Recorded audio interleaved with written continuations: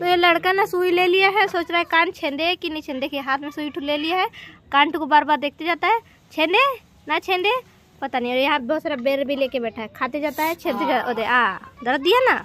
कहा छेद रहे हो? नहीं छेद बोल